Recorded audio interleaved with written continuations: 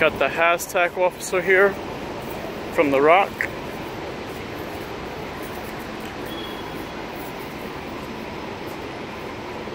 So, got that going on. A police officer here, probably from the City Hall detail.